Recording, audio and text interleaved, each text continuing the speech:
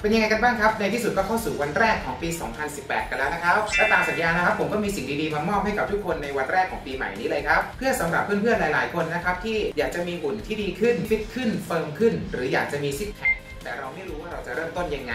งั้นเดี๋ยวมาฟังครับว่าเคล็ดลับดีๆที่ผมจะมานำเสนอนั่นคืออะไร นั่นก็คือ 3 ขั้นตอนพิชิตหุ่นในฝันของคุณนั่นเองนะครับ เรามาเริ่มที่ขั้นตอนแรกกันเลยดีกว่าครับ สิ่งแรกที่คุณต้องทำเลยก็คือ การพิจารณาร่างกายตัวเราเองทำยังไงไม่ยากเลยครับส่องกระจกดูตัวเอง และพิจารณาดูนะครับว่าหุ่นคุณอยู่ในเกณฑ์ไหน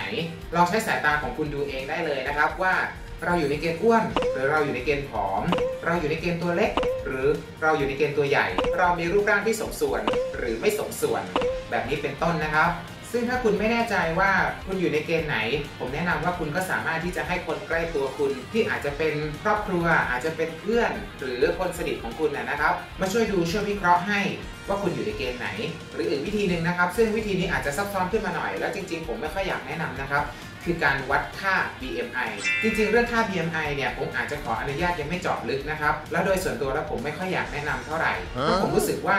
ตัวเลขที่ได้จากการวัดค่า BMI เนี่ยมันอาจจะไม่ใช่ผลที่ถูกต้องเสมอไป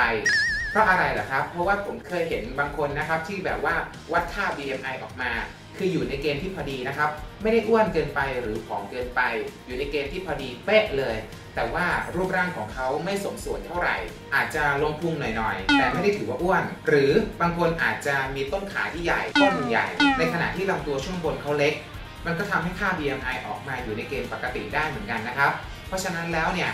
ค่า BMI ผมขอไม่เน้นเยอะแล้วกัน ผมอยากให้คุณพิจารณาจากตัวคุณเองเลยมากกว่า ว่าคุณส่องกระจกแล้วคุณเห็นตัวเองเป็นแบบไหน คุณอยากเปลี่ยนแปลงตัวเองยังไง คุณอยากพัฒนาส่วนไหนของร่างกาย แล้วเราถึงจะมาสู่ขั้นตอนต่อไปนะครับเอาละครับขั้นตอนแรกก็ฝากไว้เท่านี้ก่อนนะครับ แล้วเดี๋ยวเรามาต่อขั้นตอนที่ 2 กันในวันพรุ่งนี้นะครับ แล้ววันนี้เนื่องในวันปีใหม่นะครับ ก็ขอให้ทุกคนได้ใช้ช่วงเวลาที่มีความสุขนี้กับคนที่คุณรักนะครับ และกระชับพลังให้เต็มที่เพื่อเริ่มต้นสิ่งใหม่ๆในปีนี้กันเลยนะครับ แล้วถ้ามากด subscribe แล้วติดตามช่องของผมนะครับ ผมก็จะมีเคล็ดลับดีๆที่สามารถช่วยให้คุณเปลี่ยนแปลงรูปร่างของคุณได้ และมีซิกแพคไปพร้อมกับผมได้นะครับกดติดตามแล้วขอให้กดไลค์กดแชร์คลิปวิดีโอของผมด้วยนะครับ เดี๋ยววันนี้ขอลาไปก่อนแล้วเดี๋ยวมาเจอกันใหม่ในวันพรุ่งนี้ครับ